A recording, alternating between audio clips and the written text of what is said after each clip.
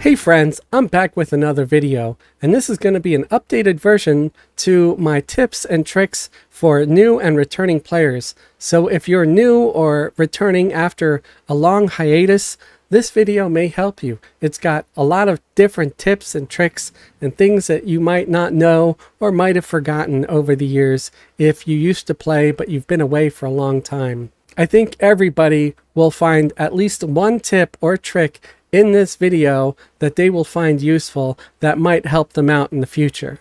If you've never played EverQuest before, you're not going to have it installed. My suggestion when you're starting off on EverQuest is to download the game directly from everquest.com, the official EverQuest website. You'll find it right here in the upper right side of the screen. It says download the game you just want to left click on that and you will automatically download the game and then just install it. I'm aware that there is a version of EverQuest that you can download and get from Steam. I would suggest not doing it that way just because I've never done it, but I've I'm told that the Steam client isn't very good and you cannot open multiple instances of EverQuest when using the Steam version. You can only open multiple instances of EverQuest using the regular standard version. And if you ever plan on multi-boxing or anything like that, it's gonna help you a lot. And I would just just get the normal client. That why bother with Steam if you don't have to. That's all if you're making a new character, I would always suggest, regardless of what race you choose, because as you see, there are so many different race options here, and whatever race you choose, especially if it happens to be one of the more evil ones, over here for deity, if you have the option to choose agnostic, so say example, we're making a rogue, a warrior, or even an enchanter or a mage, we have the option to be agnostic over here. Agnostic under deity, it just means you don't worship any specific deity. Uh, it's it's like yeah, I don't I don't know, I don't care.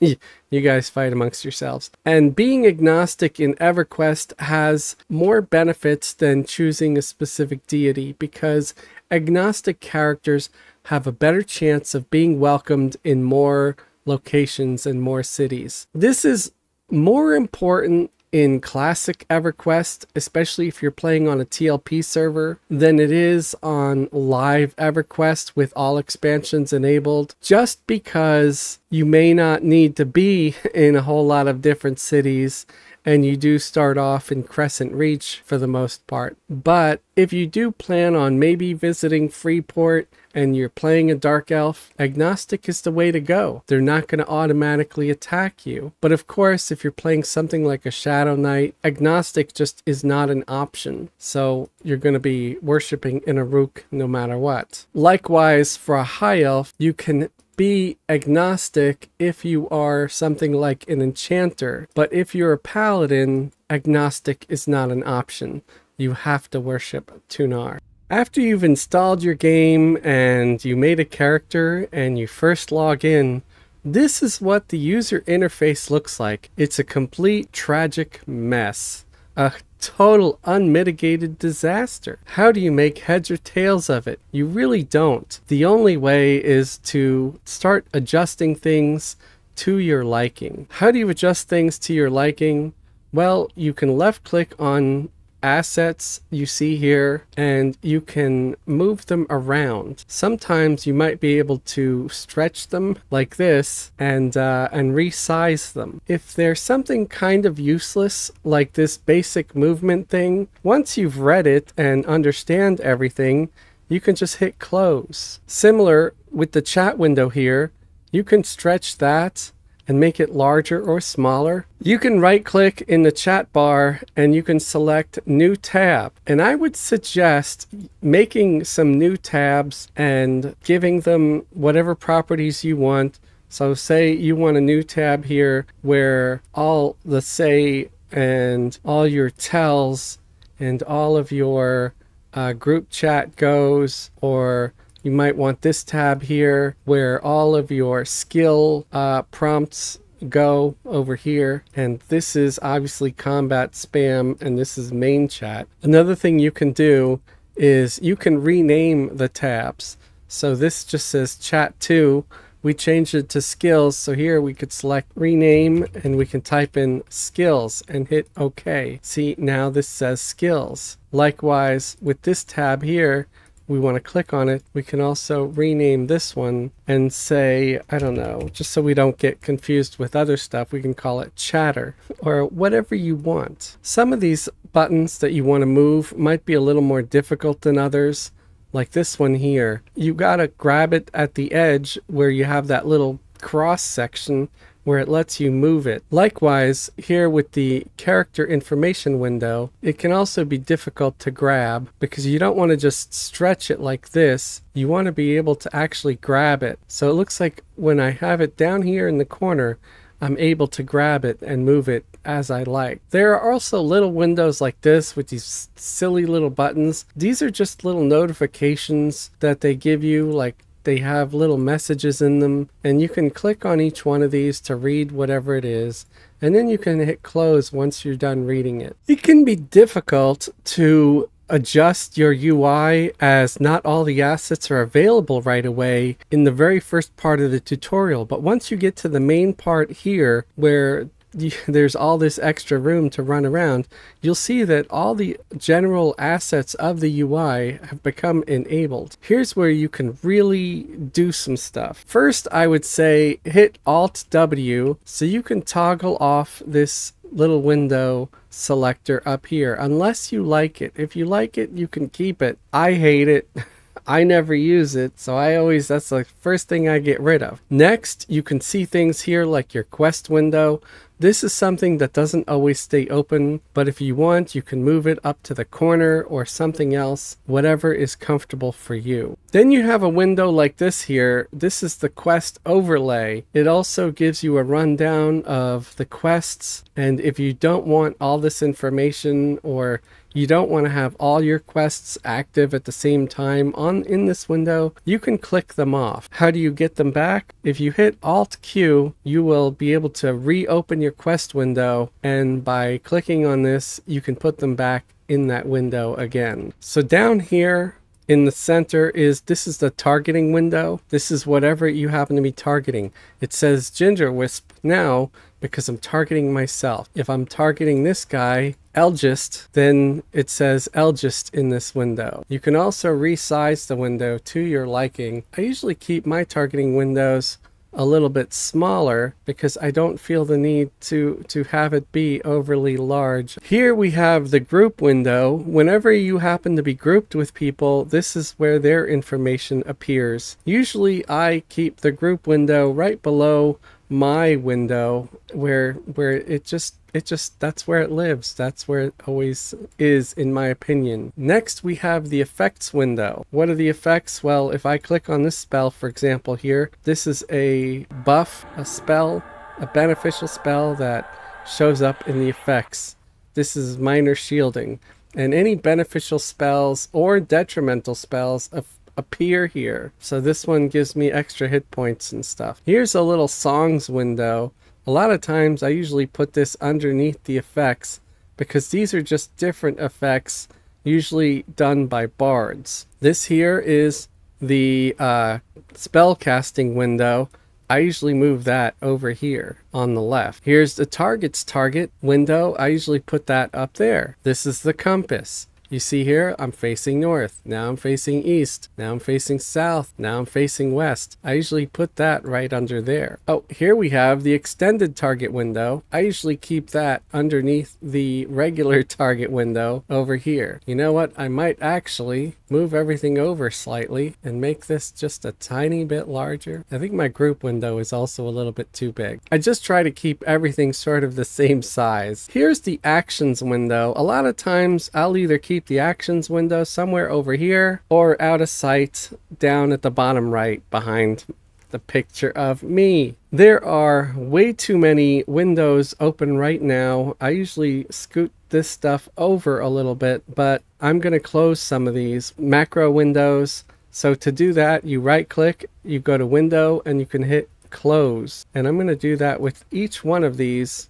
except for the main one because it's the only one that I really need. And I usually move it somewhere along here and I try to put that in the corner with the spell bar, sometimes I lower it and have it around down there. This way I have all this space for my chat bar and I usually stretch it out so I have plenty of room for my chats. This leaves me all of this viewing space where it's not really being impeded by anything else and it just looks nice, it looks clean. Later on I will need more hot bars so I can go over here and open up more hotkeys like that. And then I usually just start stacking them one on top of the other. Another thing about the UI, say you went to all this time and trouble to get this UI looking nice. You can go to you can go to options by pressing Alt O and then you can click on copy UI on another character so you can import this UI to that other character. That will mean that that guy will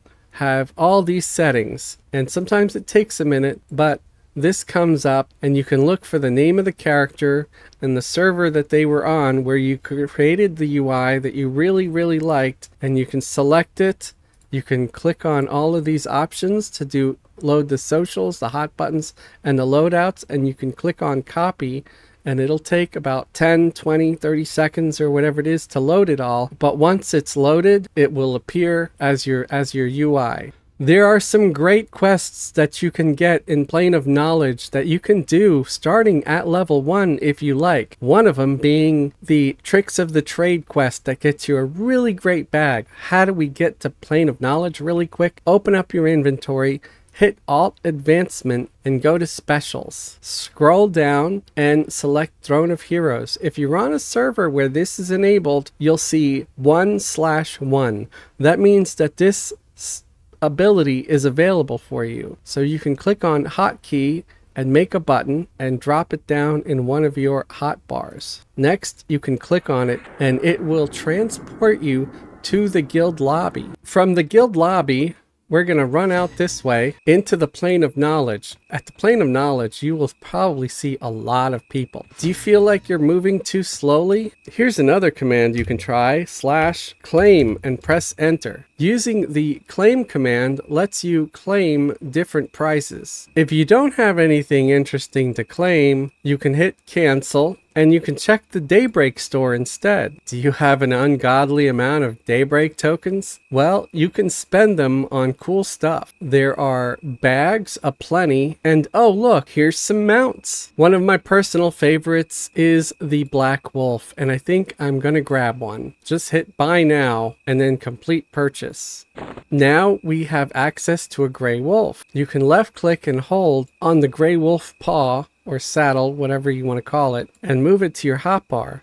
And then you can click on it and poof, you're on an awesome wolf. Actually, this is a black wolf. I was calling it a gray wolf because I was eyeballing that one too. Now you can run really fast. So here in POK, you're going to go down this way and you're going to find this NPC, Sekalna Galnor, if that's the way I pronounce her name. And you're going to hail her and she is going to display a number of quests. You're going to scroll down here and select the bazaar tricks of the trade and you're going to accept. Now this is a really simple, really quick to do quest that gives you a very nice bag.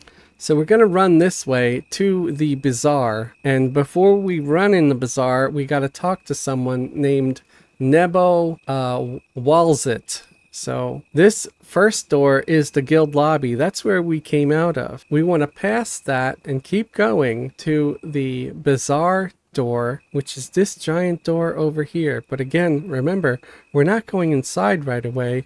We're going to talk to Nebo first. We're going to hail him and just answer his prompts until it says task stage completed. Next, it says talk to Nerman within the bazaar. So now is when we actually go inside the bazaar and we just have to click on the door and it says entering the bazaar. As soon as you enter the bazaar, you want to go straight down the hall to this main room here and you're going to find this guy in an orange jumpsuit named Nerman, and you're going to hail him. And then you're going to select the prompts. I would suggest reading the prompts because they're full of important information. Always read the quest prompts, especially when you're new. They provide a lot of backstory and lore and if you don't read it, you might might miss something really important. Next, it says, find the teleporter to the Blue Griffin Hall. So we just turn barely to the right and you'll see these bluish looking signs here. I mean, it's more like turquoise with blue on it, but this is the Blue Griffin Hall. So we want to go up this way, up to this little teleport pad, and you want to run up on it. And it says task stage completed. So as soon as you get in, don't go anywhere. As soon as you get in, you want this first doorway to the right and you want to go up this way and this npc right here elan nerman's buyer you want to hail him also, again, I would suggest reading everything and selecting the prompts. Next, it says find the teleporter to Red Dragon Hall. So we're going to go back this way and leave where we came from through this doorway onto the teleporter and go down again. Then we take a left here, and this is the sign for, you guessed it, the Red Dragon Hall. So we go up this way, and if you have access to the maps, it even shows you this stuff on the maps. See, there's Blue Griffin Hall, Red Dragon Hall. To open the maps, you would hit uh, backspace or M. At least I make sure that I always have it as backspace. Again, as soon as you get in here, you don't have to go far. It's this first doorway to the right, and you just go straight up.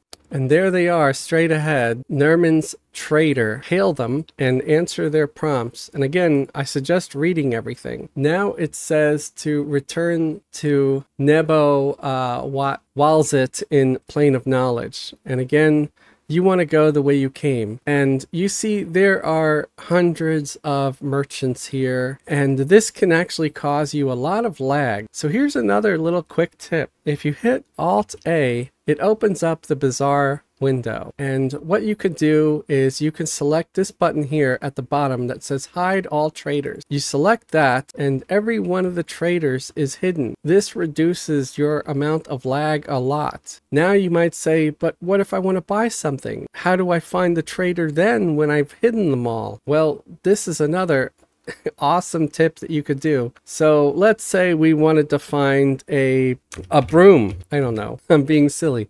But say we wanted to find a broom. Maybe we want this crude adepts broom over here, right? And and we want to buy that. Well, once you select what you want here in the traders window, you can select find trader. And when you do that, you will see a little trail that appears. It's very faint, so you have to look hard. But you see here, there's like a little ghostly trail that appears and shows you how to get to them. You follow the trail, and you see once you get to that trader, that trader is visible. That trader appears. So you can go up to them and then you can right click on them and you can purchase all of their goods and services. So you can keep hide all traders on all the time and just use this search tool to find your trader. And once you have found them, you can go to your actions window here and you can click on end find. So now that we're done in the bazaar, we're going to go back to the plane of knowledge to talk to Nebo and hopefully finish our quest. So we come out, we take the first left and then left again, and this is the way back to the plane of knowledge. And if you're looking here at the map, you'll see it. It says plane of knowledge and you can just click on the door to exit. Once we're back in the plane of knowledge, we're going to go over here to Nebo and hail him. We're going to answer the prompts and then we're going to get our reward. And you see here, sturdy traveler's pack and a trader satchel we get both of them. Select the option and you'll see it appears here in our inventory. So now we have this excellent 10 slotted bag that holds size capacity giant and it has a 50% weight reduction to it, which means anything that you put in this bag is going to weigh 50% less than what it normally weighs. The second bag that you get is actually very heavy. It weighs 25 and it has no weight reduction at all. I recommend not carrying this bag around with you, but putting it in your bank. So that's what we're going to do. We're running over here to the small bank in Plane of Knowledge where we're going to store this bag and it's still a very useful bag as far as expanding your inventory space here in the bank. So now you got 10 slot, 10 extra slots in the bank where you can put stuff.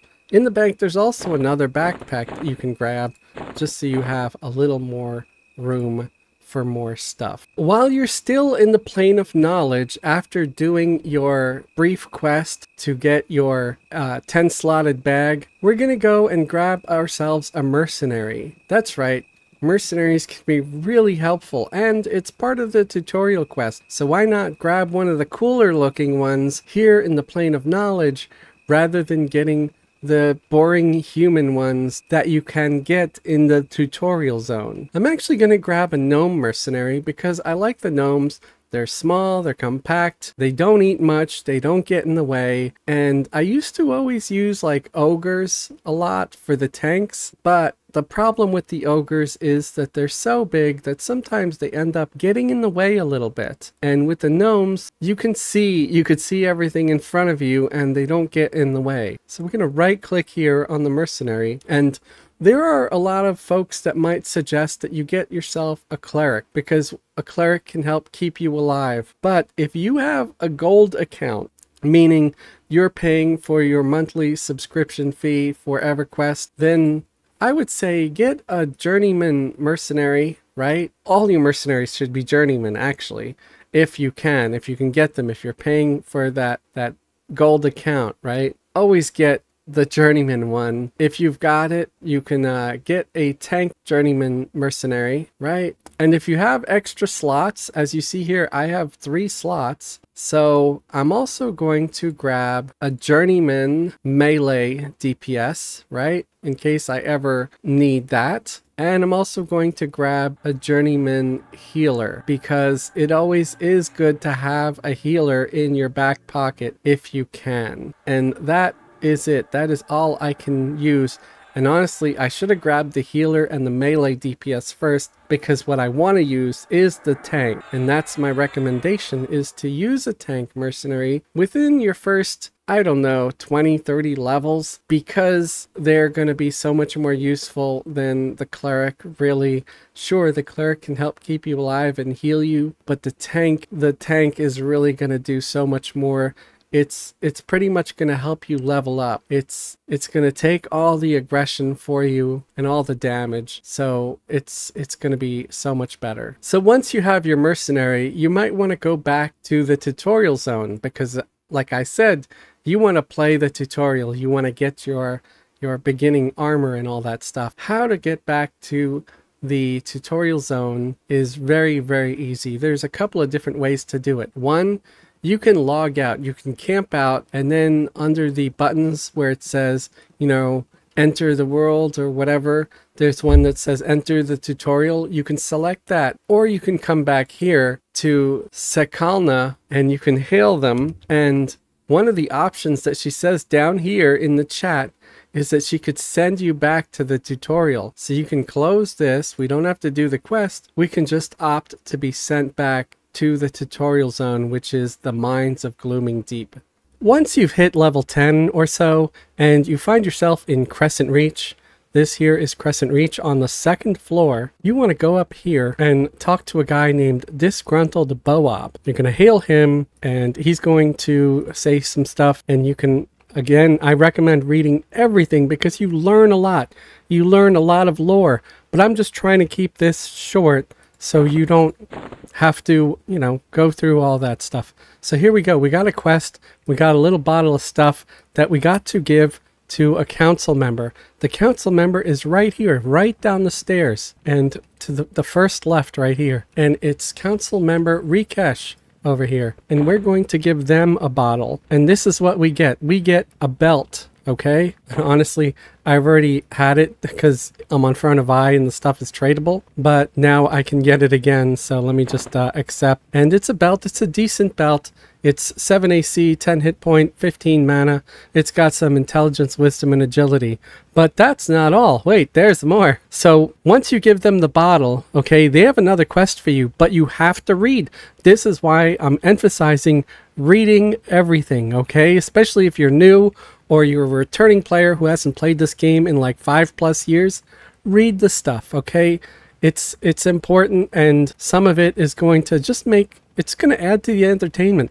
Someone worked very hard to write these scripts. So you're going to read it and you're going to see its uh, allegiance is highlighted. Okay, you're going to say allegiance and then you're going to say uh, encourage him to drink it all clear and say yes okay. We're to say clear and then we get the the other quest. We get this pink potion bottle called potion for boab. So now we're going to go back to boab. So so close you know so quick it's just the easiest quest of all and here we go disgruntled boab so you're going to give him the pink potion and poof boab gets turned into a bunny and you have a selection, a couple of different selections here. You have two different prizes because the two quests together make up a one of these things. It's a, a heroic a heroic journey type of thing. So that's you know that's that's sort of another thing. So we get this mask here. The mask is pretty awesome in itself because it has some stats. It has some wisdom, intelligence, and strength, right?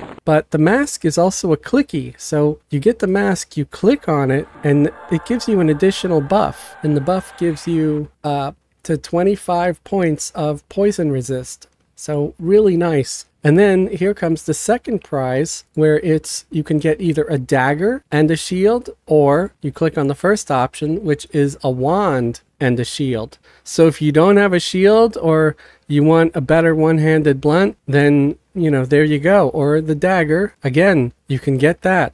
I say get the dagger if you're a caster because the next tip is going to get you a better one-handed staff. So let's hit select. That way you can practice your piercing ability. And the next one is going to be getting you a one-hander. So here we go. We are going to the third floor on this elevator.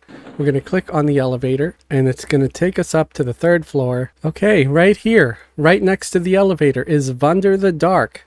Quests level 10. You want to hail him and read out everything he says. The word learn is highlighted. We click on learn, or you could type out the word learn and hit enter, and then sample, and he get you get a quest. Dark Heart. You hit accept, and he wants you to kill Apothecary Shelga with no one watching. Okay, so we're gonna go back down, and I would suggest getting the elevator if you're new. I'm on a mount, that's why it didn't harm me. so we're back down on the second floor, and we're gonna go here where the herbs and medicines are. And no one's currently watching, so let's kill him right now. He's right here, Apothecary Shelga. Gonna attack him and send my pet after him. And he's a barbarian. As you see, we didn't have any negative faction at all. And it gave us 4% XP. If you're on another server that doesn't have like a, a forever XP bonus, it might only give you 1% or 2%, something like that. And this is what we need right here. Shelga's pouch of ingredients. And sometimes he drops barbarian blood, which I hear is used in trade skills. I think it makes a potion or something. I'm not sure. But that's it. We go back up to the third floor and we're going to turn this pouch in. These are some of the easiest quests in the entire game. Don't expect future quests to be this easy, folks, especially considering how good the reward the rewards are for these couple of really easy quests. And I, I highlight them in the tips because you can get some very nice gear doing these few quests. So here we go. We uh, we accept. It's the Staff of the Dark Apprentice. And if you're a caster or a priest or even a shaman, you will get this item here. See, it's Cleric, Druid, Bard, Rogue, Shaman, necromancer wizard mage and it's it's really nice looking too. It's got a great looking graphic. Let me uh, equip it so you can see. And there you go. This really sharp looking awesome looking staff and it's recommended level of 5 uh, but you have to be at least level 10 to get the quest okay? Damage 8 delay 20 and it gives you stamina, intelligence, and wisdom, and 5 save versus magic. It even gives you 4 AC, 10 hit points, and 10 mana. Great little weapon to have from you know level 10 all the way up to level 30ish you know or more or more until you find something better until you find some defiant uh, weapon or something like that so it's it's it's pretty good i i use this weapon a lot and again you know now you have a shield. I happen to have that same shield already or something similar.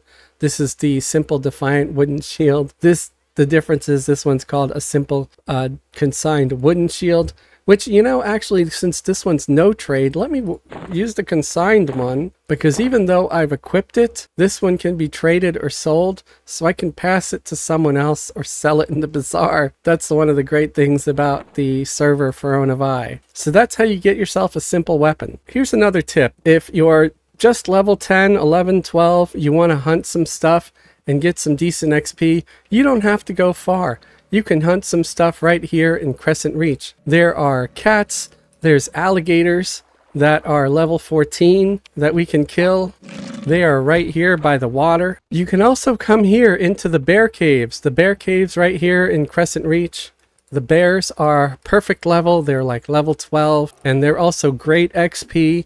Occasionally you'll find yourself some bear pelts they're great for tailoring, or maybe you can try to sell them to someone who does tailoring by using the barter tool. The barter tool is slash barter and hit enter, and you can go through some stuff in your inventory and try to sell it to other players. Have the bear caves become trivial for you? Well, there's more. Once the bear caves are trivial for you, you can come out here and fight some skeleton ogres.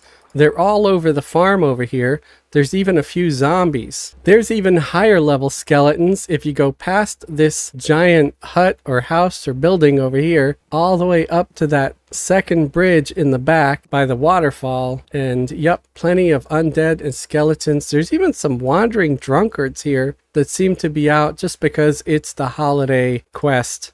So you gotta watch out for them because they are scouts ready to attack but the undead on the other side of the bridge are level 18. So you can basically get to level 20 in this zone very easily. And once you're level 20, you could venture out into Blightfire Moors. And as I mentioned in the previous tip of hunting bears, hunting things that give you trade skill items, you can use the barter tool. The command is slash barter, hit enter, and there's all sorts of things that you can sell that will give you money. I don't happen to have anything right now, but the way it works, for example, is let's say uh, the pond alligator's hide was worth something, and you would click on that, left click on it, you would hit search, and if something was of value to somebody, if somebody was making an offer, it would show up here, matching bylines, and you would click on that, and then you can click on sell and you sell the thing to them. You don't have to be anywhere near the bazaar. You can do this. This works in absolutely any and every zone out there. It's great. You can get rid of unwanted crap in your inventory if you're not going to use it and uh, sell it to other players who want it to do trade skills. Great system, great for making money. This works even if you are free to play. Only a gold account can be a buyer, but anybody, including free to play accounts, can be a seller. Sometimes you might find yourself leveling up so fast that you, some of your skills lag behind. One way to check on this is open your inventory, click on skills, and look at things like abjuration. You can see here it's only at 24 out of 60. How do we get it up and get it up quickly? Well, you can make a macro I always make this kind of macro. To make a macro, you want to use your actions window over here. You go to actions and you go to the socials page at the end. It's the last tab right here. And then you want to hit the arrows until you get to some empty buttons. And then you would right click on one of the empty buttons and you'd start filling it out. I already have one filled out, so I'm going to open that. I call it spell practice.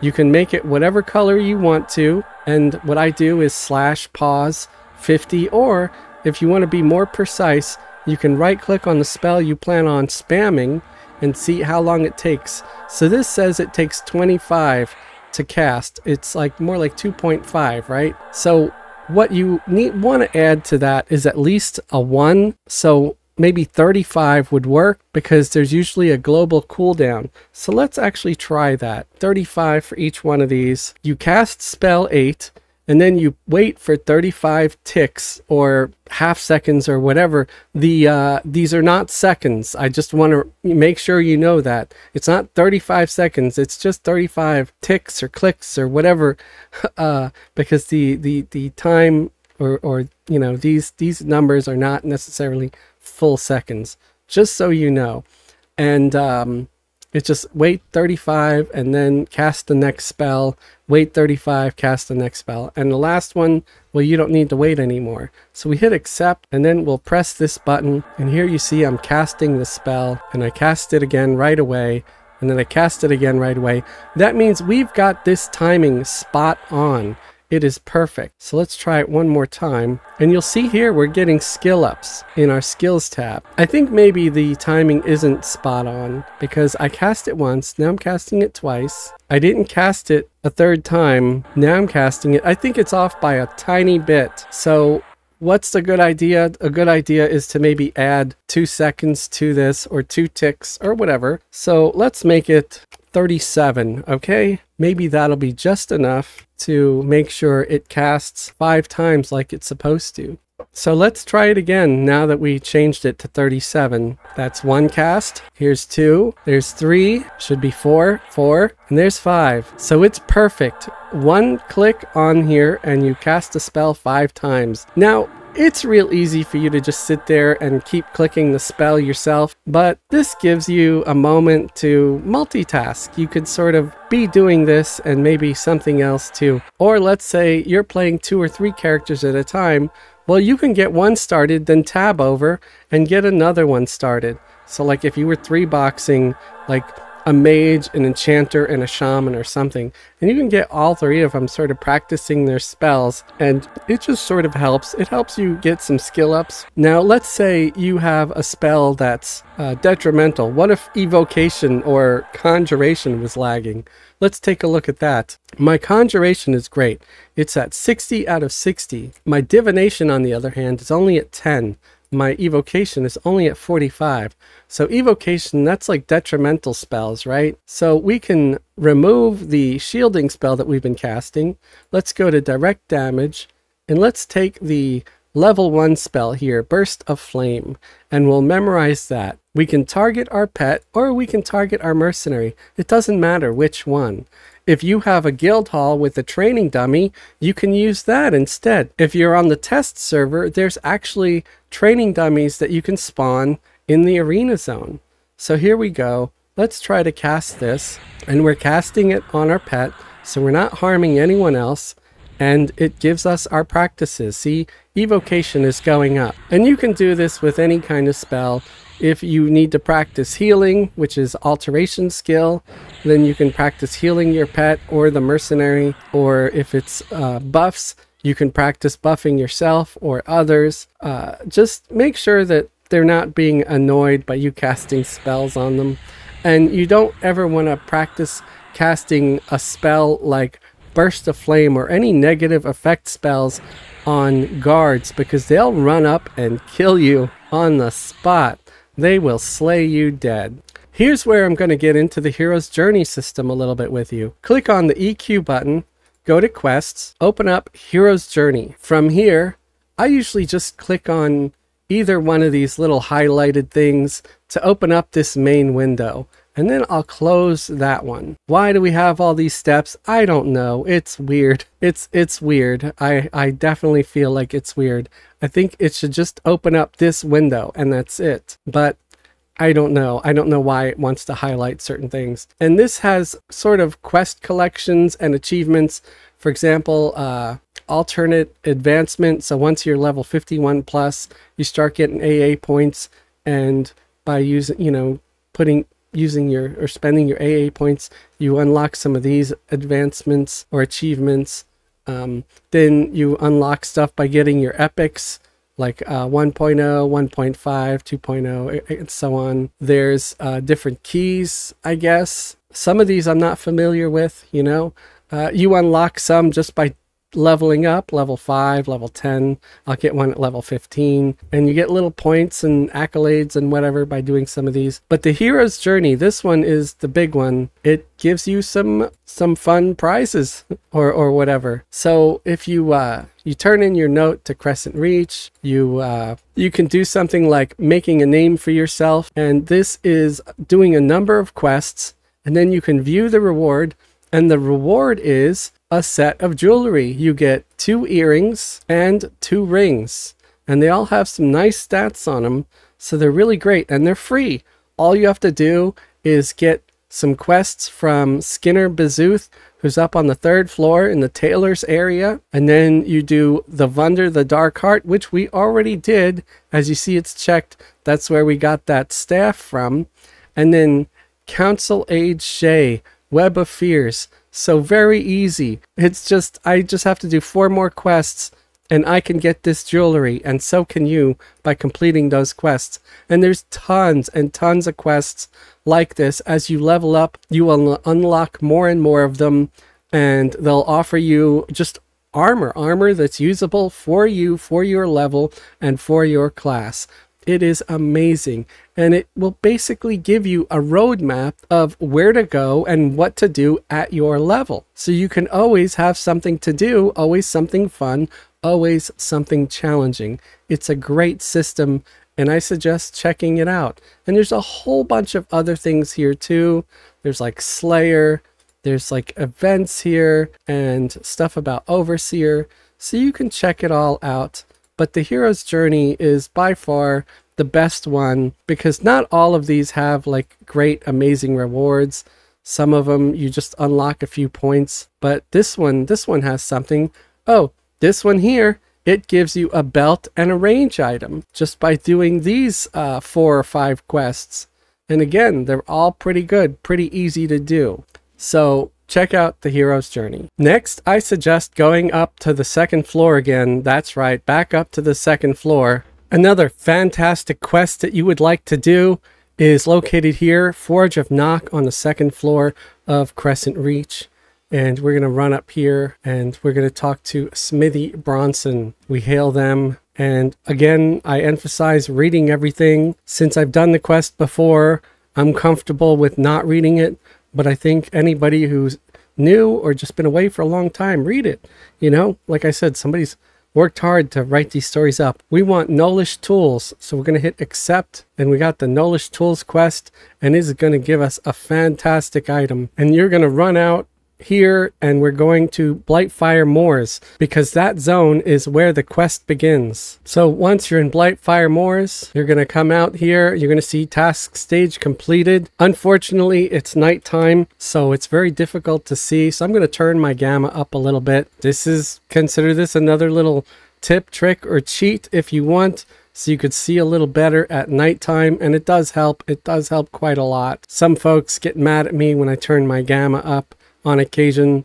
But you know what? I want people watching this video to be able to see it. So if, if you don't want to watch it because the gamma is a little high, click away. Click away. Don't watch. Don't watch the video. So here we go. We got our first Rock Breaker gnoll. We're going to attack him. I'm also going to make sure to set my Mercenary to tank. And I'm going to set myself as main assist. That ensures that the Mercenary is going to act as a tank and not just act as DPS. Because if you don't have him set to tank, you can't be mad at him for not tanking or, you know, taunting the monsters. So here is the first thing we have to loot. We have to loot this hammer. So I'm going to put all my hammers in a bag over here. I'm going to set it to the side. I'll keep it open and uh, yeah, so we enter the cave and we want to take the first left here where you see the uh, mucktail miners and we want to kill them because we want their mining picks. These are some of the few that have the mining picks that we need to complete this quest. You need four hammers and four picks. And the hammers are super easy to get. The picks are a little more complicated because you got to make sure you're defeating these miners. And there we have our first pick. And I'm going to put it in my bag here. And here we have our second pick. And there are four gnolls that spawn in this cave. So this is why I say come in here and, uh, oh wow, we have a named. I've never seen this named spawn in this room before. So this is kind of interesting.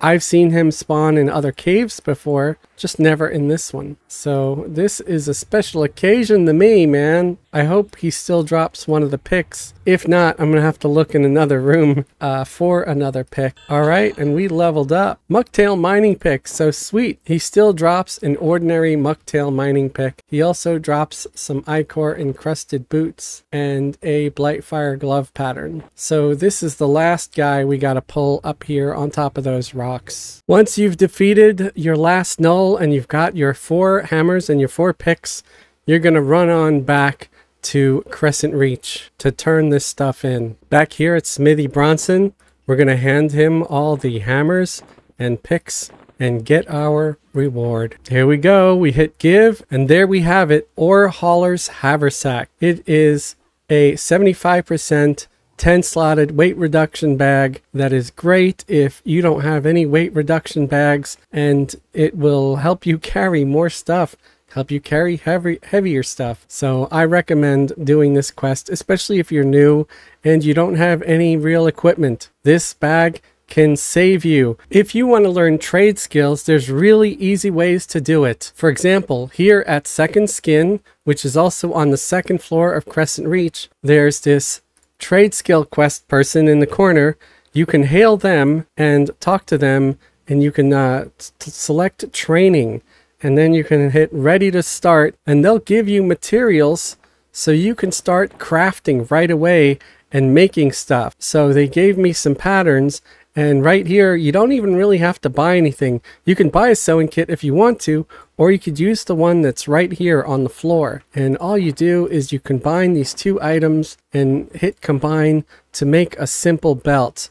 And then to make it even faster, you can close the kit, reopen it, and type in the word simple in the window and there you go you see I had no skill at all I got a, a, one skill now because I made that one combine and you hit make all and then you just hit combine and you're going to be combining until all these materials are used up. Then once you use them up, you can go to this person and ask them for more supplies. See, they even say supplies. So there you go. I got more supplies from them already. And you could do this for just about every trade skill except for fishing because I've never found one of these for fishing. If you find one for fishing, you can let me know in the comments below. But you could do this for smithing, tailoring. There's even one for poison making, but remember, only rogues can do poison making. The same with alchemy. Only shaman can do alchemy. Also, I'm pretty sure that a rogue needs to be about level 20 to begin poison making and in a shaman needs to be level 26 or something like that to begin alchemy. But these simple these simple quests can get your skill up to 54. Once they're at 54, you can go and get your trophy. Once you finish the task and you made your 20 belts, you could turn them in for a little bit of faction and XP, and then you can move on to the next one again until your skill is at 54. Once you get your trade skills up to 54, you can go and get yourself a trophy. So we're going to do that now by going here to Freeport. Once you're in the Freeport zone, you're going to run out and then bank right and come over here to this little camp where there's going to be people that will give us a quest. And look, there's one of my guildies right now going to get the same kind of quest. So we want to go here to event coordinator Boobly Diggs because Boobly is just tops. She's just awesome. Hi Boobly, how are you today? And we want to go over here. We want to say test. We want to do the tailoring test. So we're going to click on tailoring but read everything she says because she might have some important information for you. And here we go. We got the tailoring task. And here in our overlay is everything we have to do. We just have to craft one of these items, uh, one of each of these items, and then bring them back and hand them over to Judge Marion. She'll judge us. She'll give us a scorecard. then we hand the scorecard back to Boobly Diggs and we get our trophy. What is the trophy for? It gives you a boost in your trade skills. It gives you a skill modifier where you'll be able to craft some things that you might have normally failed at. Because why?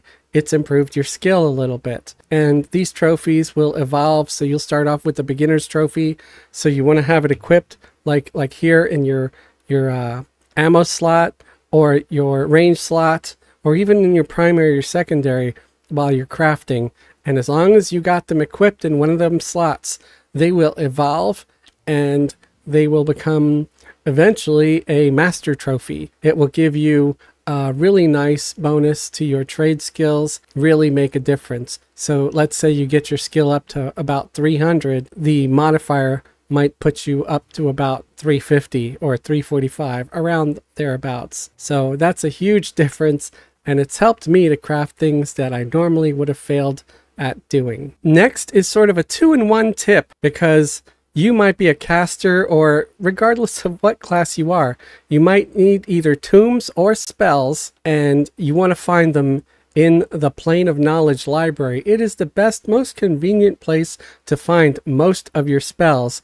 for most of your levels until you've leveled up past 85, where yes, you might need to go to different zones to get some of your spells. But an easy way to find which spell merchant that that you need for your specific class. For example, I am a level 25 necromancer. So I'm going to click on the find tool and let me bring it up over here so you can see it. It's under actions, the little actions window over here.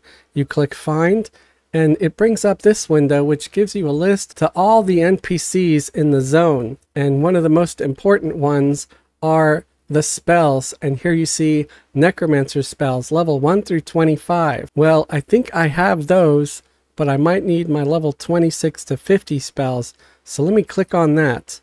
When you click on that, you'll see a mystic thread appear in front of you. It's like an umbilical cord that, if you remember seeing the movie Donnie Darko, it's just like that. So you want to go and follow it. You want to follow it up towards the library. So we're going to go over here and keep following the trail. It just takes us down down to the basement because that's where they think the necromancers belong in the cold cold cellar. You know what I think belongs in the cold cold cellar? Enchanters because they're the ones that steal free will by using the charm spell. What do necromancers do?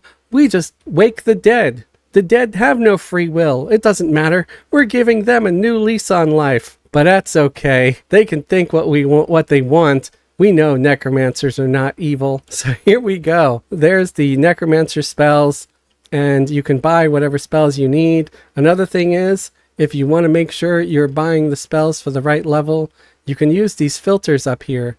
You can check for cost or level. I always do this, so I'm making sure I'm looking at the lower level ones first, or, or whatever, however you want to do it. You can even search for a specific spell, like for example, if I type the word spirit here and I hit enter, I'll see any spell with the word spirit in it, like spirit tap. Similar to the find tool is something called the waypoint command. The waypoint command works in a similar way, except it's sort of more flexible. So let's say you didn't know where an NPC was and the find tool for that NPC didn't work at all. Well, you can use the waypoint command. How does it work? you type in slash waypoint, and then you can copy the location of whatever it was from the website and use Control V to paste it here in EverQuest. And then you can press enter, and it works the same way. Now you have a mystical path taking you up to that waypoint. And this can work in just about any zone at all. At, le- at least I don't know of a zone where it might not work. It may be in some dungeons or something. I don't really know, but it's a pretty cool command.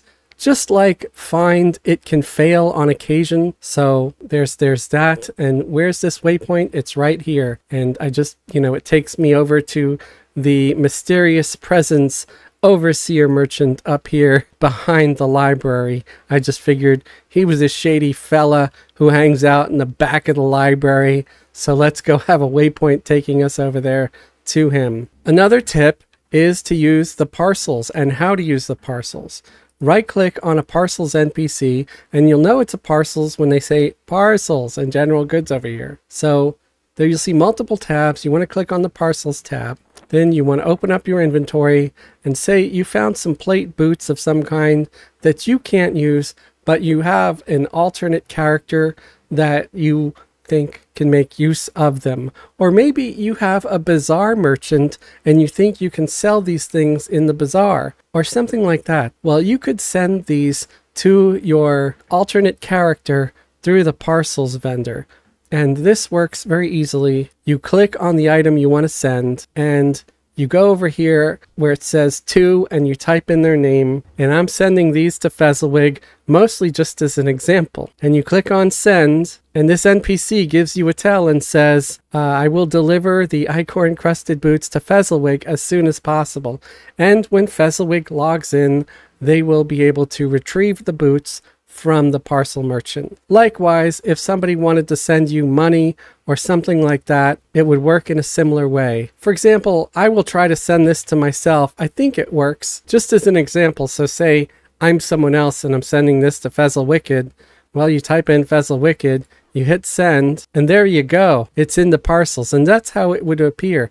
Also, if you look at the top right here, you will see a little package icon appear in your personal info window right there. It says you have a parcel delivery. So you come over here, open up the parcels guy, you can click on this and you could say retrieve or retrieve all, which would retrieve everything that's in your parcels. And that's how you use the parcels NPC. Similar to the parcels NPC, you have a banker. A banker stores all of your goods and loot, right? Now, there's a little window here called shared bank, and this means that if I have something that I want to give to someone else, like this pattern, for example, I can drop it here in the shared bank and then I can log out and log back in with another character as long as they're on the same account and they can access this from the shared bank. Last tip is that you can activate certain skills automatically during combat. So I'm going to show you by pulling this giant over here who is appropriate for my level. He's a good dark blue. So here we are, we're playing a Beast Lord. We'll get off the mount here. And I can kick as a Beast Lord, right? And sometimes I like to multi-box. So let's say I'm multi-boxing and I don't want to keep tabbing from one melee class to the other just so I can keep tapping on the kick button, which I'm doing now. So I can right click and hold until this menu comes up and I can go to auto activate and I can select that and now every time kick is available, my hands are up here, it will automatically trigger kick. Now this is great, especially if you're just soloing, playing alone or whatever. Uh, of course, if you're in a group and you're fighting a really nasty caster or something, you might want to save your kick to try to interrupt spells because I was unaware of this, but I'm I'm told that kick can potentially interrupt spells. Like it might have a, a very small stun type effect. And now, wow, we got an ad. So I'm going to have to slow him down. There we go. Let's see if we can't dot him a little bit too. That way, you know, my spell will do part of the work for me. I'm also going to slug down a damage shield potion. Hopefully it'll take effect. Oh my god. How am I getting all of these ads? this is not looking good for me. I think I'm going to survive. It's just sort of a pain in the ass. I really didn't want to have to fight three of these guys at once, but they insisted, they insisted, and now I'm going to have to kill all freaking three of them, and I'm going to make sure to refresh slow as well, because I do have a cleric mercenary, so I'm again, I'm not too worried. I just hate that I have to uh, do all these while I'm doing a video.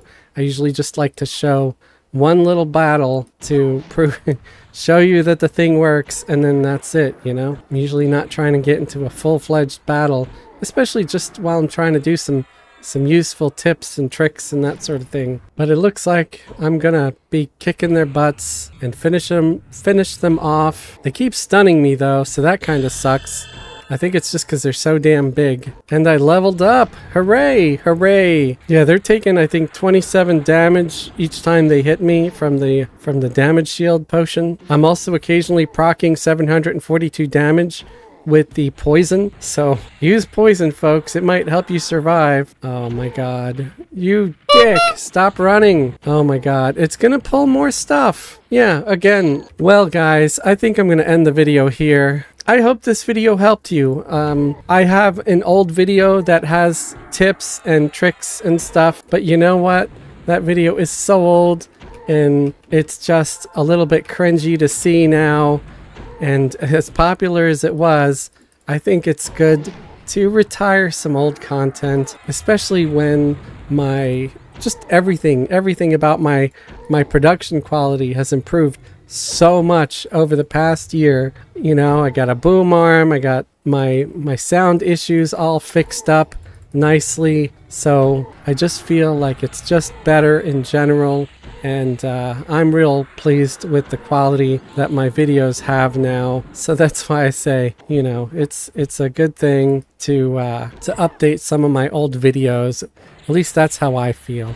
I like updating old stuff when it's kind of out of date or like I said, it's not as good as my current stuff. Ooh, at least this guy doesn't have Spirit of the Wolf, so he can't run as fast. So I should be able to kill him before he aggroes anybody else. See, you should have thought of that, buddy, because I killed three of your guys. I don't know what the hell you were thinking that you were going to be able to uh, defeat me with just one of you. So that's it for this video, folks. I hope you find these tips and tricks helpful to your gaming experience, especially if you're a new or returning player who's recently come back to EQ. My intention is just to help those who might have been away for a while or are brand new because maybe you got curious about the game after watching some of my content. If you like the video, give it a thumbs up. If you dislike the video, you can give it a thumbs down.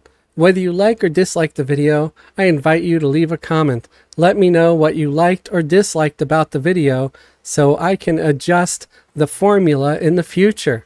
If you like what I do here and you'd like to support me and support the channel, consider subscribing if you're not already subscribed. You can also join the channel as a channel member. Channel members get special perks and privileges, like a link to join the private Discord. If YouTube memberships are not your thing, check the links below for a link to join my Patreon. Patreon patrons get similar perks like a link to join the Discord, and all the videos on Patreon are ad free. If you enjoyed the video, you can also leave a super thanks. A super thanks is like a little mini donation saying thanks for the video. It was informative. I'd like to thank all of my current YouTube channel members, Patreon patrons, and those of you who might have left a super thanks or super chat recently. Thank you very much, guys. Helping to support the channel really does make a difference. And I appreciate you very, very much. Thank you all. That's all for this one, folks. Have a great day and a wonderful tomorrow.